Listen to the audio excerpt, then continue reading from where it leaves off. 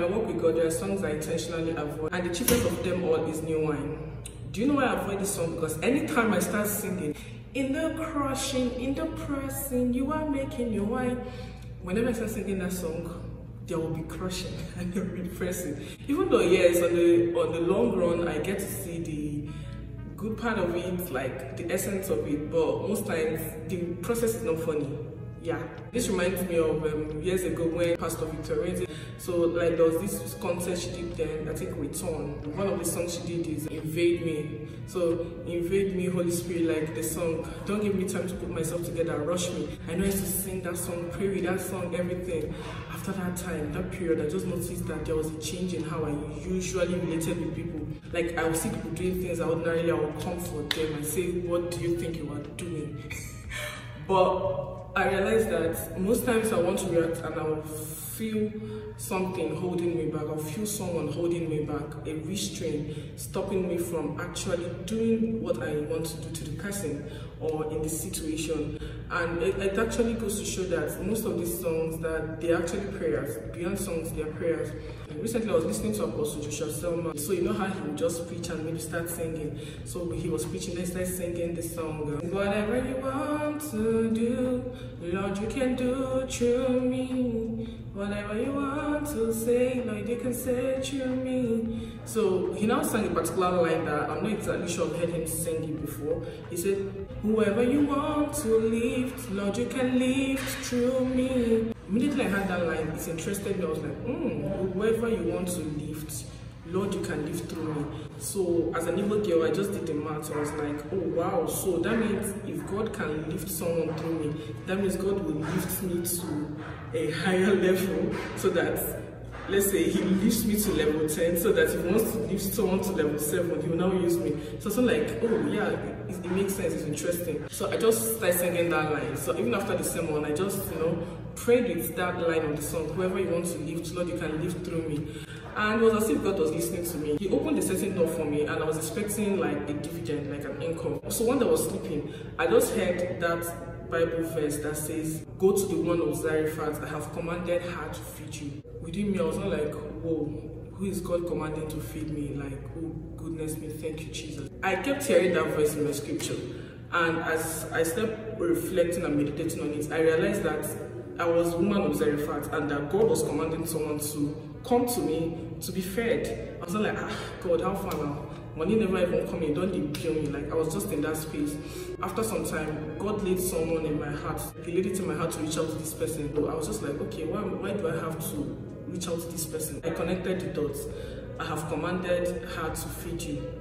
And it was exactly as if God was telling me, I have commanded you to feed this person. My setup changed.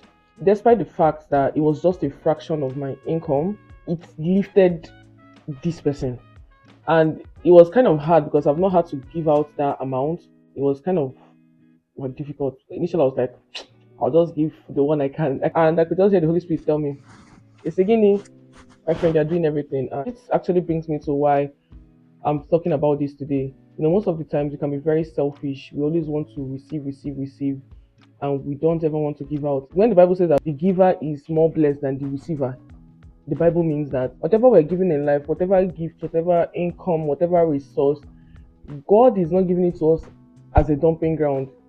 That's the problem the master had with the servant that was given one talent. He buried his own, others traded with it. God is not giving you things and blessings and income for you to dump it or for you to use it just on yourself.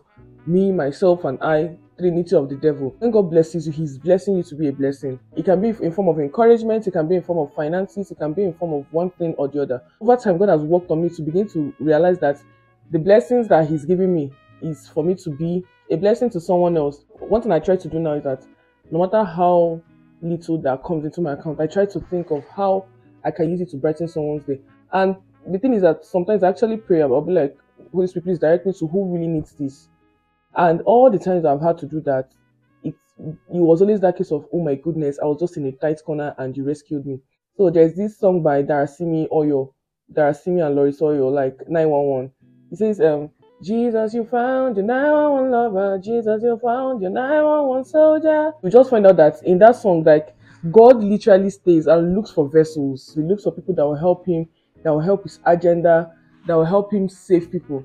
Imagine the woman at Zarephath, like God saw that at least she had a little meal, even though it was just one portion, and he sent his prophets there to be fed. And the way God does it, because the woman obeyed, that meal multiplied again and again. I know sometimes we are usually overthinking it to be like, ah, if I give out this one now, I have this, I have needs not a finish. You have to get to that point where you actually understand that whatever you have, God gave it to you.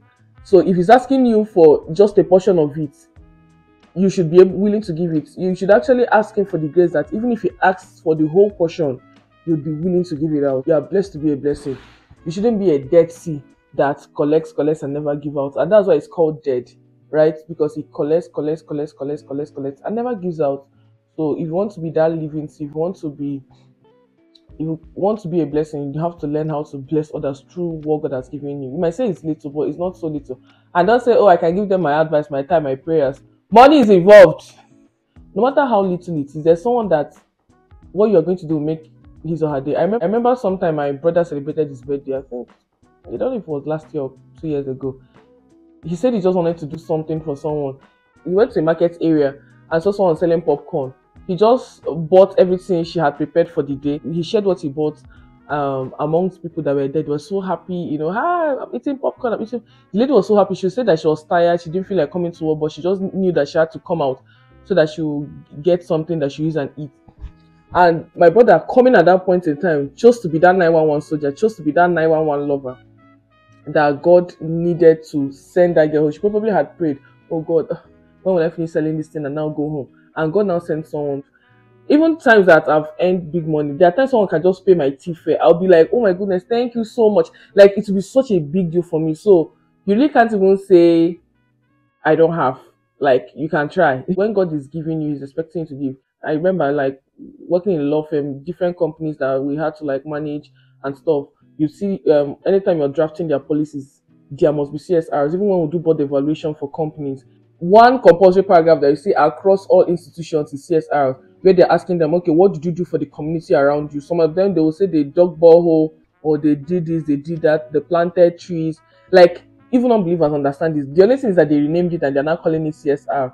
You see billionaires that even the ones that don't believe in God, you tell they will tell you that they're giving to charity. That thing they they understand that whatever you have, you have to be able to pass it. You have to be able to let it go. You have to learn how to let go. For you to receive how do you receive? You receive when you open your hand like this right? You don't receive closing your hand you receive when you open your hand like this. And for you to see how important this giving is you find out that um, when in primary science they say plants exhale oxygen and inhale carbon dioxide. And we we inhale oxygen and exhale carbon dioxide. Like that's just it's just a cycle something as yucky as your feces your excretion it's something that causes manure to plants that actually still come back to feed you. So if you if you actually sit down and realize it's a principle of life, it's just it's, it's just like a cycle. It, it just doesn't break. If you're at that point where God is blessing you, or maybe you're even just earning little, I would just encourage you to give. You really do not know whose life you can touch. You really do not know whose life you can bless. I've been a I've been a partaker of such. Uh, where somebody like out of the stipend that they had, like it blessed me so much and it was like a lifesaver for me at that point in time. Thing I always ask myself, if God has used others to do it for me, how much more me? So just like I told you, oh, I wanted to be a sharp baby. Lord, if you can live today, that you can live through me. It's not just by singing it, it's by doing it.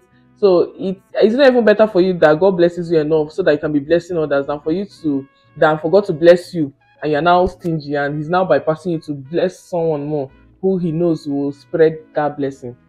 Like, check it, do the math. If you really want to start, one thing you can actually start doing is by asking God for the grace. Lord, give me the grace to do this, to do it. Secondly, have the understanding that whatever you have was given to you, and it can go in a snap of a finger. So, if you can give it to help someone's life, then do it. And thirdly, I would also say that if you have the understanding that problem not the finish, while I know the finish, so you might as well just give, then it would also help you. And because of that, one thing that it will lead is to you budgeting, where you get a budget maybe 10% of your income. I'm going to use it to look for a life I can make better. It's more realistic that way, so that you know that if let's say you're earning hundred thousand naira, as hundred thousand naira is coming in, you know that ten thousand does not belong to you. Problem not the finish, but you can actually make your life count. You can actually become a channel through which God blesses people. But disclaimer, I'm not saying you should now be silly or not prudent. Bible says there is bread for the eater, seed for the sower. So don't eat your seed and don't give away your seed, right? Just know how to strike the balance. Once the percentage you're bringing out for helping others finish, class, another person that comes, unless it's something that you are led to do, you can now tell the person I've uh, you can now tell the person I don't have. You get so thank you for coming. Do also like, subscribe, share. You subscribe to this channel and also share this video. Okay, what stood out for you most? You can drop it in the comment section. Let's have a conversation. Okay, bye. See you. Toodles.